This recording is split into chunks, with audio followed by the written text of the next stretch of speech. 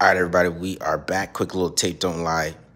Short, we're going over a little Tango 72 buffer 8, 50 dig. It's not the exact play, but this is the touchdown to Mack Hollins. You guys see it right there. See the, the design. We're getting man to man. We're getting bracket coverage on Davante Adams.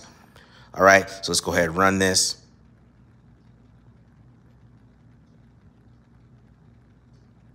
Oh, again.